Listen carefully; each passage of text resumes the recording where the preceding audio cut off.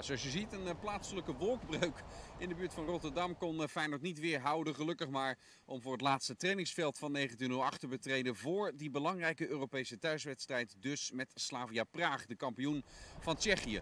Feyenoord is er klaar voor in de zin van uh, dat de selectie gewoon fit en up-to-date is. Marcus Pedersen, je ziet hem hier. Hij is er weer bij, gaat ook gewoon spelen, heeft Arne Slot al aangegeven. En voor de rest mist hij eigenlijk sowieso niemand. Ja, Wies Nelson is nog steeds niet inzetbaar, maar alle van de laatste weken. Ze zijn er allemaal gewoon bij als Feyenoord dus gaat spelen tegen Slavia Praag. Zijn er vraagtekens in die opstelling? Nou, valt eigenlijk wel mee. Hè? Je zou kunnen twisten over wie moet er in de spits staan. Maar ja, Brian Linsen heeft het de laatste weken goed gedaan.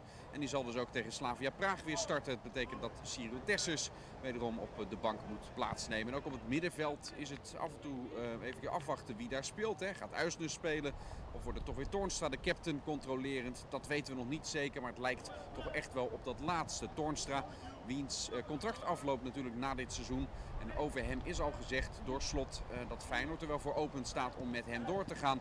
Maar dat we eigenlijk bij de technisch directeur Frank Arnissen moeten zijn om daar uh, het precieze van te weten. En dat geldt ook voor Marcos Senesi.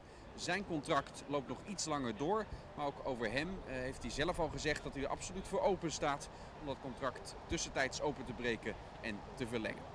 Feyenoord tegen Slavia Praag. Een wedstrijd hopelijk in iets betere weersomstandigheden dan de dag voor de wedstrijd het geval was. Ongeacht hoe dat is kun je die wedstrijd natuurlijk volgen op Radio Rijnmond.